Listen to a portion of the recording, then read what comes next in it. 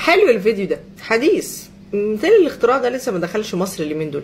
مش عارفة إحنا ليه المصريين ما بنعرفش نعمل الحاجات دي خالص إحنا ناس فظيعة قوي. أحب أقول لك إن ده اختراع مصر القديم.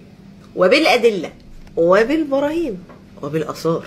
جماعة الآثار اللي عندنا دي بس مش معمولة عشان تتحط في متاحف معمولة عشان نعرف تاريخنا. ونوثقه ونأكد عليه.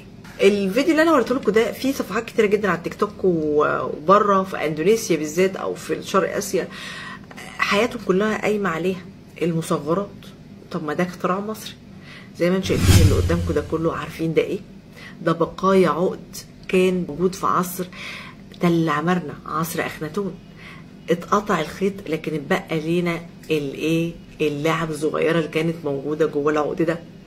زي ما أنتم شايفين مصغرات صغنونة قوي وألوانها تحفة وشكلها خطير. دي مصنوعة من الفيانس.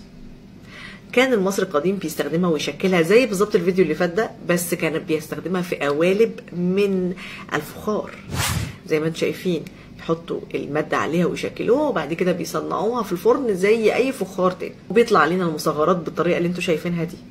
الأجانب خدوها وعاملين بيها شغل ما أقولكمش ياما. وإحنا قاعدين خلينا قاعدين.